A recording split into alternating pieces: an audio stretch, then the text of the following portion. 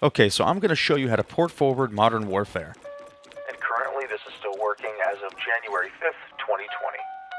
The way I'm going to show you is the simplest way to do it, or at least the simplest way that I have found.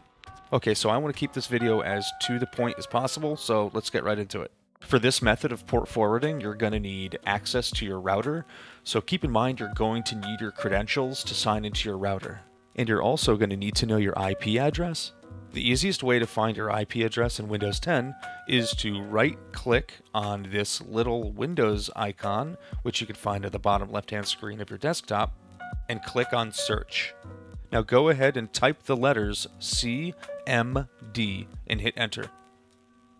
Okay, so now you have opened up the command prompt. Now all you have to do is type in ipconfig and hit enter. Now, depending on your home network, many things can pop up here, but we're going to be focusing on the IPv4 address. So now might be a good time to write down that IPv4 number for later. Also, take note of the default gateway number because you're going to need that to sign into your router. So now that we've gotten all those fancy numbers, let's go ahead and open up your favorite browser. I'm using Firefox here. Now enter that default gateway number into the address bar. Most likely it's going to be 192.168.1.1. You should now be at your router login page. This is where you're going to need those router login credentials. So if you know them, go ahead and enter them. If not, go ask mom and dad for it. And if you have some rad mom and dads, hopefully they'll help you out. Now, this is where things change depending on what brand of router you have, but essentially you need to find the section where you port forward. I happen to have a Asus gaming router, so my port forwarding section is under the WAN tab and then under virtual server slash port forwarding. But yours is most likely going to be different. You can usually find this in the manual or online, or just snoop around until you find it. So once you're in your port forwarding section, we're going to add two ports. Like I said, all of these are going to be different, but uh, it should be like add profile or add port. And the first one is going to be called IW. Protocol is going to be UDP.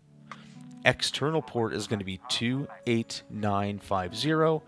Internal port 28950 and then you enter your internal IP address, which is that IPv4 address that you wrote down earlier. Hit OK, and you're done with the first one. Only one more to go. So go ahead and add another one. The name is going to be MW. I guess you could name this whatever you want, but if you want to follow what I named it, go right ahead. So the name is going to be MW. Protocol is the same, UDP. External port is going to be 3074, internal port 3074. Then put your IPv4 address where the internal IP address field is and hit OK. We still have one more thing to do though before we're done. For all of this to work, you need to disable your firewall while you play Modern Warfare, or it will disable the ports. So I'm going to show you how to turn off your firewall real quick. From the desktop, go to the search function and type in firewall. Click on Windows Defender Firewall. When that opens, look on the left-hand side of the window and click on Turn Windows Defender Firewall on or off. Make sure your private network settings and public network settings are turned to off, hit OK, and you're ready to go. So now when you open your game, you should see NAT type open. I hope this helped anyone out that was having issues port forwarding. If you found this video helpful, go ahead and leave a like and subscribe. I got a lot of new PC and PC gaming related content coming up in the future, so stay tuned for that. So have a great and wonderful weekend, ladies and gentlemen. We'll see you next time.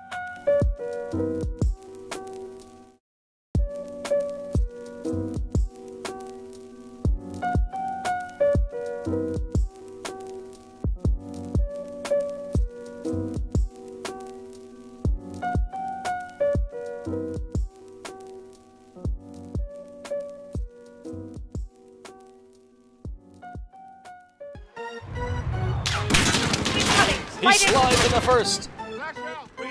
Safe.